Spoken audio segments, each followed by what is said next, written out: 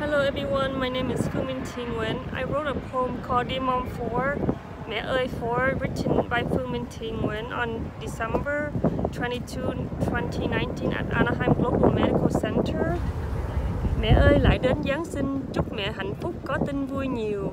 Con thì đã lớn tuổi nhiều, đến lúc phải có chồng, có nhiều con vui. Mẹ ơi mẹ hiểu dùm tôi, gia đình hạnh phúc con tôi nó cười còn không thì nó không vui nó cứ quanh quẩn trong đùi trong tim. Mẹ hiểu hạnh phúc từ tim chỉ hai vợ chồng mẹ tìm hiểu con. Rồi tìm hiểu con của con con nó, coi nó muốn gì để con con cười. Mẹ đừng có mà không tươi vì khi mẹ tươi thì con mới cười. Mẹ ơi con giải thích rồi nếu mà không hiểu con rùi bay xa. Mẹ ơi cùng bố hát ca để đời sung sướng câu ca tiếng cười.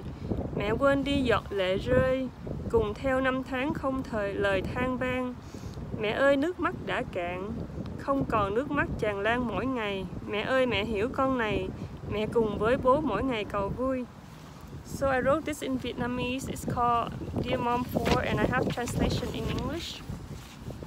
Mẹ ơi, dear mom 4. Dear mom, Christmas is coming. Bless wish, blessedly wish mom have happiness and have good news.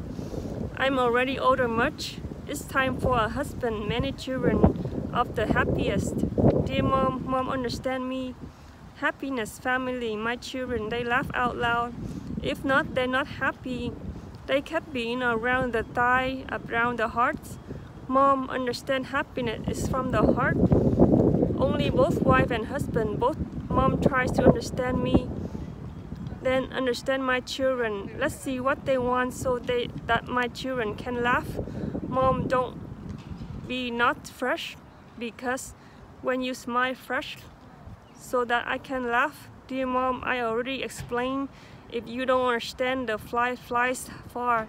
Dear mom, together with that to sing so that life is the happiest, the singing sentences, the loud laughs. Mom, forget the shedding tears together follow the years and months, no rambling words, no more. Dear mom, no more tears to shed. No shedding tears overwhelm every day. Dear mom, mom understand me. Please, mom, together with that every day, pray to be happiest. Uh, so I wrote this poem about my mom. And so um, so I, I expect to have children and uh, husband soon and I'm 41 and I, I want to have a husband when I was 17 and I never have one because there were so many obstacles and I hope you understand me. Uh, so please understand that uh, love and life is uh, together and stop destroying the happiness. Uh, thank you. Have a nice day.